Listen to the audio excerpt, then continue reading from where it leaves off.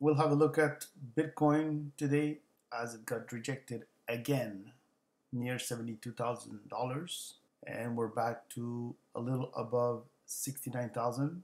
Nothing to panic about. This is how it goes. Patience is required with Bitcoin.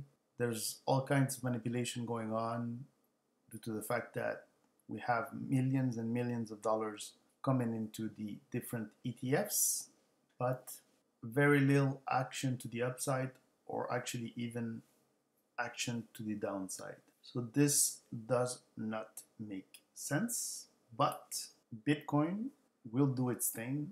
You just have to be patient. It's coming. The structure of the chart showing that something big is coming. We'll cover it today. Going to do the four hour, the daily, and the weekly, and you will see clearly what's coming up. So on the four hour, got rejected once at 72,000, twice, three times. Very strong rejection. We found support on the MA50 of the four hour chart, and we see that a little below that it's the MA200. We have support at around 66,000. I don't think we're going to go that low, but we are in this channel now of consolidation. We are still going up to the right, even at the four hour chart. So it's very bullish. You just need to wait for it. Things things will happen at the appropriate time. Just be in the market because you do not want to miss the big move in Bitcoin, and usually a few days make most of the returns of the bull run. So please do not play with leverage and stay in the market. The daily chart is the most important one and the most interesting one as we see that the long uptrend here is still intact for Bitcoin. We are in a big rectangle here consolidation since February of 2024. It's a long, long, long waiting period. We went from 60,000 to a little above 72,000, got rejected, came back near 60,000 again, went back to 70,000, rejected again, dropped to 65, 70,000, 60, 66, dropped to slightly below 60, we recover it, 65, 60 again, 65, then 70, and then 70 again. So as you see, we are tightly trading in this range right now. The MA50 on the daily chart is almost flat, but now slightly going up.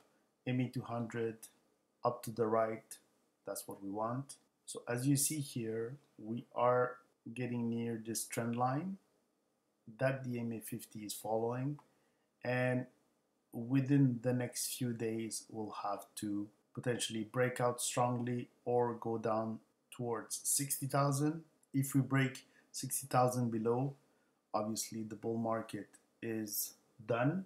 Possibilities of that happening are, to me, almost close to zero due to the fact that we just had the halving, and based on history of Bitcoin, we have never broken down in this stage of the cycle downwards. So the breakout is imminent. It's going to be above 72,000. And after that, like I indicated, you need to watch out because the green candles can be quite impressive, important, quick, and if you miss those days, you're going to miss returns for the bull run. So just keep that in mind. You have to be patient, you have to wait for the right time, and it's just a patient game at this stage. The other important thing that you can see here throughout this consolidation period we see diminishing volumes. So it means that we are near that breakout level and it's going to happen. The longer we stay on a sideways action consolidation, the bigger the response is once we break out of that trending accumulative phase. This not, does not only apply to Bitcoin, it applies to any asset. The longer you stay in a range, the stronger the response will be once it's broken. To the upside, to the downside, by my opinion, not financial advice, we're going to the upside. On the weekly, we know that we are near the all time high, very, very close to what we have seen.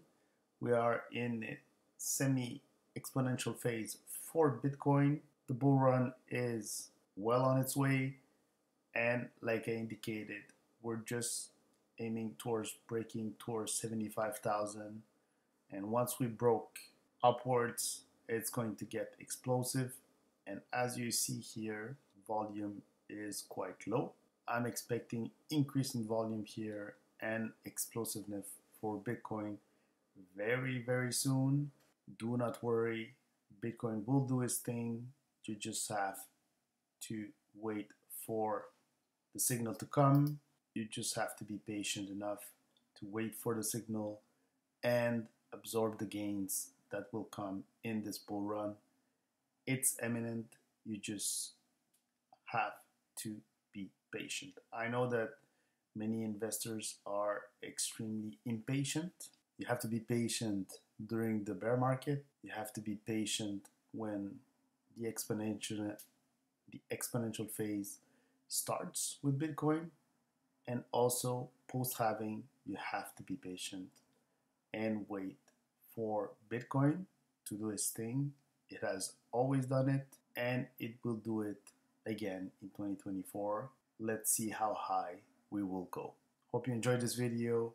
Continue watching videos, continue exploring the assets that we cover here in the channel. Happy to share my thoughts on the market and on Bitcoin once in a while.